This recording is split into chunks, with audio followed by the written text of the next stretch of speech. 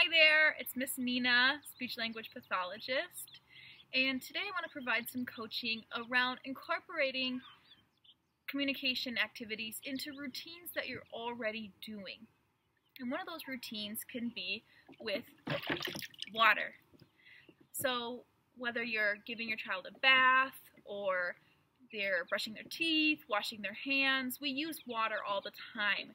And water can be something really fun for kids, but sometimes it can be a little bit stressful for parents because they just want to splash all the time. Um, and so we need to think about when can we provide an opportunity where it's okay to do those things for a child, and then other times where we can show that this is not a time to do that right now.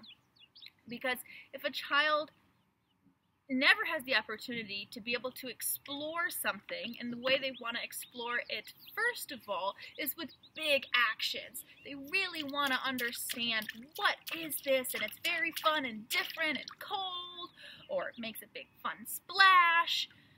And they need to have those opportunities to explore that so that when they're interacting with water in other settings, they're not always trying to do that. They can get that out of their system a little bit and learn. There are times when we can play, and there are times when we don't play.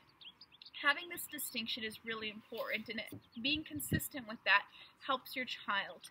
So we can use the language around that. It's, if it's a bath time and you have some toys and you're playing, encourage your child to get a little bit big with the action so that again Okay, we're gonna splash right now. Are you ready?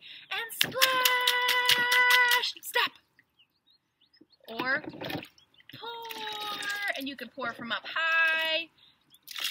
You can pour on different body parts, pouring it on their arms, on their chest, on their legs. On their head is difficult because we don't like getting water in our face, and so maybe avoiding the head, and if the water splashes in their face, just keep going and don't make a big deal of drying their face and let's just play with that so it's not something that's stopping the actions that they're doing. And we can use body parts, right?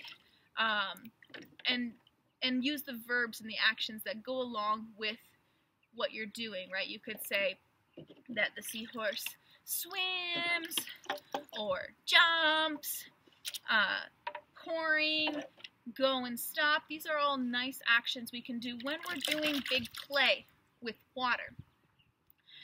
And if you're doing a different activity like washing hands, if the child just wants to play in the water, you can put a time limit on that and be consistent. So you could say, oh, you get three seconds or five seconds to play, and then we're going to turn the water off.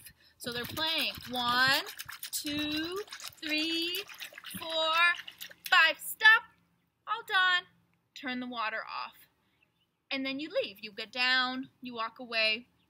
And so that that is clear for the child, putting those boundaries around something that they really like to do, but also giving them opportunities so that they can have big play.